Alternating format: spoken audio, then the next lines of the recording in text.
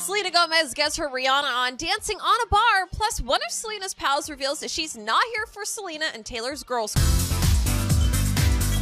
Who knew Selena was one wild party animal? Selgo went back home in Texas over the weekend and decided to let loose. The singer showed off her amazing dance moves to Rihanna's work in the middle of a crowded bar and looked to be having the time of her life. Watch here.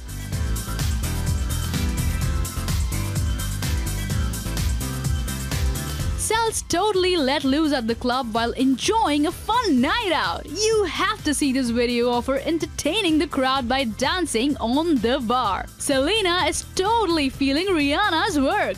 Sel shook her booty and made herself the center of attention while standing above the whole crowd as Rihanna's work played in the background. She looked super hot while showing off the sexy moves, and we just love her when she lets her hair down. What do you think of Selena dancing on the bar in Texas? Sound off below and hit that like button for all your latest on Selena Gomez only on Hollywood Now.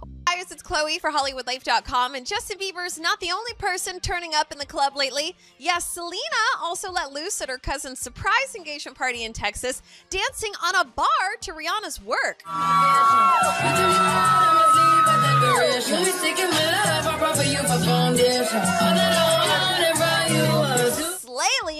Okay, but we're actually hearing Selena wasn't just getting her work on, but she also got her flirt on too. She was spotted with a cute guy dancing and hanging out with him pretty much the entire night. Single and ready to mingle. I love it. Okay, let's get into Selena's friend and Neighbors 2 co star Chloe Moretz, who you guys might remember as the actress who slammed Kim Kardashian's nude selfies on Twitter. Well, now it looks like Chloe is not a fan of Taylor Swift either, revealing in an interview with Complex Magazine that she really can't stand squad goals and thinks the whole thing is just a clique. But she also actually goes on to admit that she was invited to join Taylor Swift's squad at one point, but turned it down. The interviewer, who BT Dubs used to work at Hollywood Life, also claims that she seems to be holding back her true feelings on Tay Tay here, but Chloe just follows it up with, she's a very talented person. Wise choice of words, Chloe. All right, well, I have to hear from you guys. Are you Team Squad or Team Chloe on this one? Hey there, you beautiful YouTubers. Thank you so much for watching our videos. We seriously appreciate it so much.